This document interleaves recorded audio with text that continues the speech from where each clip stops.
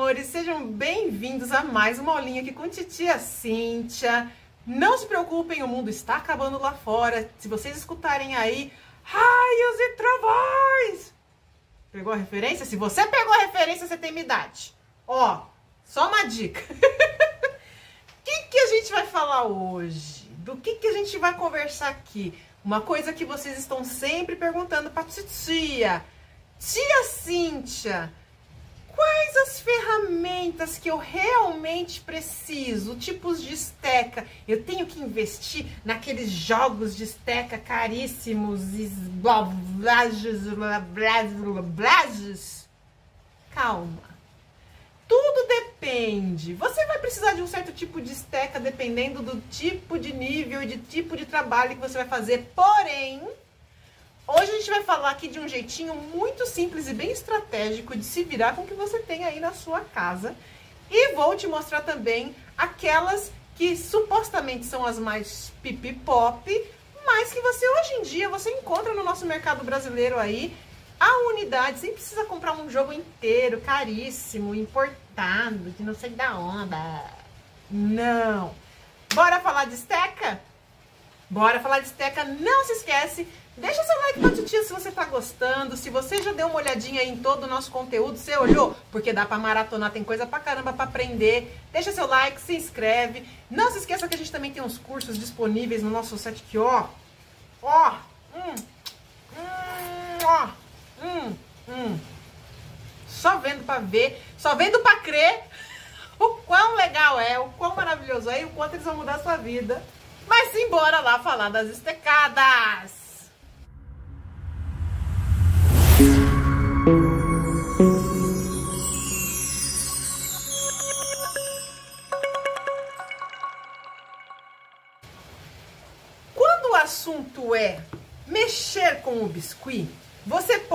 Ir desde uma. Repare que ela tá super limpinha, maravilhosa.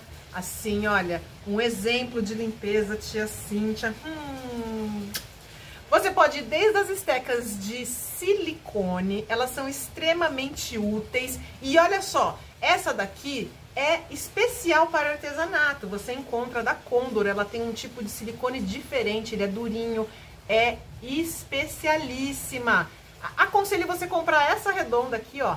As outras são enfeite, pelo menos pra mim. Não invista em tudo de uma vez, não precisa. Tem assim, na parte, sabe aonde, gente? Esses joguinhos, ó. Essas pontas aqui que eu acho que são enfeite, eu não uso pra nada. Mas enfim, você pode vir a usar, só que não precisa investir agora, entenda. Essas assim você vai encontrar, sabe onde? Na parte de manicure, é, ali numa farmácia perto da sua casa, não precisa nem ser numa loja de artesanato. Você pode ir numa farmácia e na parte de manicure, ó, junto com os esmaltes, você encontra uma criança dessa. Na realidade,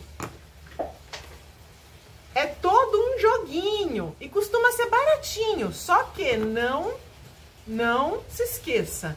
Qualidades diferentes, ó, bem molinha, super delicadinha, ajuda pra caramba, mas a função dessa é outra. Tia Cintia, então se eu tiver que escolher, eu só tenho dinheiro para comprar uma para quem tá começando. Só uma esteca de silicone. Qual que eu pego? And the winner is Condor, tá? Porque ela é realmente, como você pode ver, ela tá super limpinha, porque eu praticamente só uso ela. Só uso ela.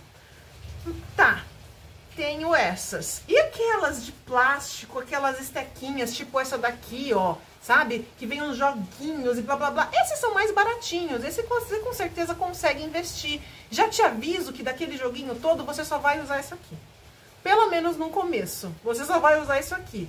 E te digo mais, se você não puder investir naquele joguinho agora para pegar só essa aqui, porque infelizmente não vende separado, você usa uma agulha no lugar é agulha de costura, sabe? Porque a gente usa essa pontinha aqui, inclusive eu chamo ela de esteca agulha, pra fazer cantinho de olho, pra fazer o boquinho, que eu sorriso aqui, ó, fazia hum, hum, furar aqui, ó, o nariz, o buraquinho do nariz da peça, bem pequenininha assim, ó. É pra isso que ela serve. E te digo, meu amor, a agulha que você tem aí na tua casa, na tua latinha de costura, que você jogou os biscoitos fora e encheu de linha lá dentro e agulha, Vai na latinha. Se você não tiver sua avó, tem sua mãe, tem certeza que tem a latinha de biscoito cheia de agulha. Você nem precisa comprar isso aqui. Tá. Vamos então falar agora dos daquelas esteca que não são esteca. E por que, que eu tô falando isso? Que você não precisa investir em esteca cara agora, a não ser essa daqui. Isso aqui é a única coisa que a gente já vai te falar. Invista nessa criança. Isso aqui não precisa, usa agulha que você tem na sua casa. Sabe o que mais você vai usar? Quem aí já tirou cravo? Hã? Alguém aí adora um videozinho de cravo, gente? Sou só eu? Hum. Isso aqui, ó. Isso aqui você compra em farmácia. Isso aqui, gente, inclusive ela já tem a, a parte, ó, da pontinha de agulha. Você nem precisa tacar a caixa da sua avó. Provavelmente você tem isso no seu joguinho de manicure que você tem na sua casa. Aquela, aquele estojinho que você bota uma acetona, uma lixa e uma meia dúzia de esmalte e esquece em algum lugar da sua casa? Provavelmente você tem isso lá. Porque isso costuma vir com os joguinhos estranhos, que eu não sei nem para que, que serve. A gente tá falando de unha e tem um negócio de tirar cravo no meio, mas enfim, vem. Costuma vir com lixa, costuma. Provavelmente você tem. Se você não tiver, isso é baratinho. Isso é muito baratinho. Tem até em farmácia. E para você fazer os cantinhos dos olhos de uma peça extremamente pequena, é extremamente útil. Mas preciso comprar agora? De jeito nenhum. Não precisa. Principalmente se você tiver caneta Bic na sua casa. É aí que titia quer chegar. Não se desespere em sair comprando um monte de esteca, um monte de coisa, um monte de tralha. Você consegue se virar com caneta. A gente pode usar esse bebê que com certeza você tem. Não, não, você pode ser o ser mais perdido do universo. Você vai ter um troço desse na sua casa. Você pode usar o corpo da caneta para fazer o serviço dessa daqui muitas vezes, que é abrir a massa na peça, esparramar a massa na peça, girando a caneta assim, ó, o corpo da caneta. Extremamente útil. Mas tia Cintia tá grudando passa um olhinho de amêndoas ou um olhinho de lavanda, olhinho corporal, pelo amor de Deus. A titia fala que toda hora não usa óleo de cozinha, meleca tudo. Tem que ser um óleo que seja ou para cabelo ou corporal, tem que ser um óleo de cosmética, não comestível. Joinha para titia. E desse brinquedinho aqui ainda não acabou. Temos mais uma esteca de brinde neste corpício que vos apresenta aqui, ó. Isso aqui, senhoras e senhores, essa parte aqui, ó, a pontinha aqui, ela é levemente enfiadinha para dentro. Isso aqui basicamente faz a vez disso daqui, tá? Basicamente faz a vez disso aqui. Por quê? Porque ela marca na massa aquele, aquela curvatura do olho da peça. Estou falando de peças pequenas. Para peças grandes, aí é que você não precisa correr mesmo. Para peça grande, você se vira. Você se vira com qualquer coisa. Você se vira com a ponta de uma caneta que não funciona mais. Esteca, investimento em esteca não é definitivamente um motivo para você não começar hoje. Você tem uma gaveta de tralha na sua casa, eu tenho certeza. E se você achar uma bique lá, você já vai conseguir fazer muita coisa no biscuit. Pode confiar na titia, que titia já trabalhou muito com caneta Bic, eu trabalho com caneta Bic até hoje, eu tenho todas as estecas que você pode imaginar hoje em dia. E eu uso isso aqui. É porque é útil, gente. O tamanho, olha, é tão perfeitinho. E tem mais uma coisa que eu tenho certeza que você tem jogado na sua gaveta aí de esmalte. Isso aqui, ó, que vem de bint, brint, vem com alicate para afastar a cutícula. Isso aqui a gente faz coleção, isso aqui não usa pra nada. Pelo menos eu não uso pra nada. Gente, isso aqui, ó, olha, pega, pega o formato. Isso aqui pra fazer um cantinho de olho. Ó, olha isso aqui, pra fazer o um sorriso. Hum, hum, fazer um sorrisinho na... Isso aqui é vida! Isso aqui você não vai achar em jogo de estequinha. Isso aqui você vai achar ali na farmácia na parte das manicures. É por isso, gente, é por isso que eu digo. Você tem esteca na sua casa, você só não estava sabendo, você não foi avisado disso ainda. Mas olha aqui, ó, para fazer cutícula. Isso aqui é vida. Olha como ela tá suja. Eu uso isso aqui todos os dias. absolutamente todos os dias para todos os tamanhos de peça. E esse lado aqui, ó, arredondadinho, para esparramar ali, ó, para alisar um cantinho de biscuit com água. Vida. Não tem uma esteca dessa em joguinho nenhum. Por mais caro que seja, é a sua breguetezinha aí de cutícula que você tem que pegar. Ah, pegou a dica, né? Essa é boa.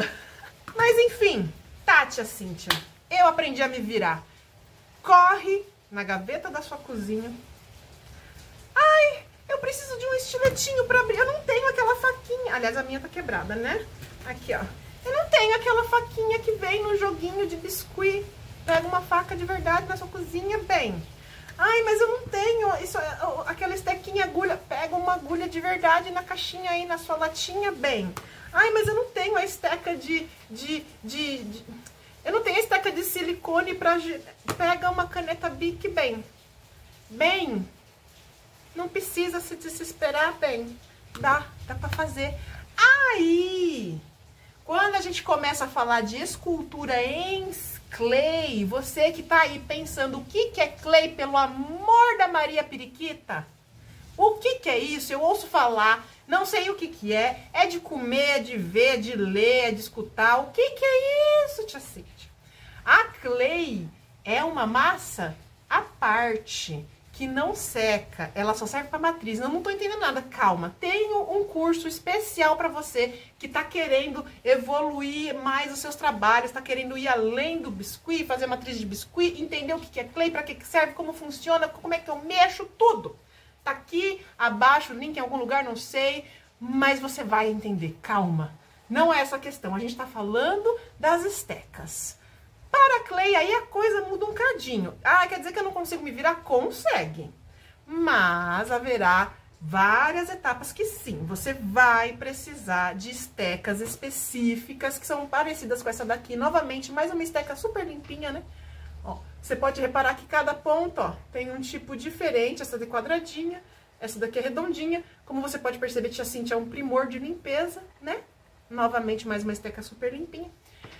Essa sim, essas é ideal você ter algumas, não todas, não precisa investir naqueles jogos enormes, porque aí você quer, você quer, você quer ver o que, que vai acontecer? A titia vai te mostrar. Bora passar um pouquinho de vergonha alheia? Bora. Vai acontecer isso aqui, ó. É uma gaveta de esteca que você não usa pra nada. Ah, ei, ei, olha aqui, olha aqui. A meia dúzia que eu uso fica sempre em cima da minha mesa. É sobre isso, é sobre isso que eu tô tentando te alertar. Eu sei que enche os olhos. Ai, eu quero, eu quero comprar aquele jogo ali, ó. Não sei quantos mil, mil reais. Sonho da minha vida, sonho da sua vida que vai ficar na gaveta, tá? Então, assim, entenda do produto,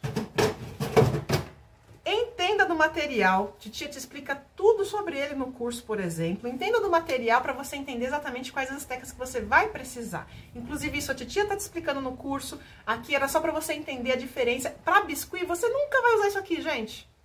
Nunca, porque isso aqui é para raspar a massa. É para você esculpir a massa. O biscuit você modela. É por isso que um troço desse serve muito mais para o biscuit. E isso aqui não. Por outro lado, isso aqui serve também para clay, para colocar tudo no lugar, para ajeitar, para esparramar, assim como você pode usar a bique.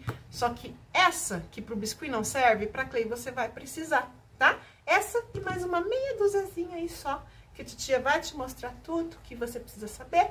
Não deixa de conhecer o curso, que ele tá maravilhoso, tá lindinho, tá tudo de bom. Mas eu espero que tenha ficado claro essa dúvida que muitos de vocês me trazem. Tia Cíntia Quais as estecas que eu preciso comprar para começar agora? Para começar agora com o biscuit? Nenhuma.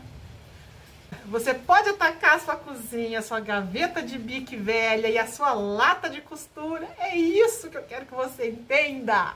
Não precisa, meus amores, dá para viver, dá para se virar. É isso, meus amores. Eu espero que tenha ficado claro para vocês que vocês não precisam de nenhum tipo de esteca específico para começar. Você pode começar hoje atacando a sua cozinha, atacando a sua gaveta de, de esmalte, atacando a sua lata de biscoito que tá cheia de agulha. Dá para fazer. Pega as bic largadas da sua casa que estão jogadas, embaixo do sofá. Procura embaixo do sofá, ter certeza que tem uma bic lá. Certeza, embaixo da almofada, procura ali e bora trabalhar.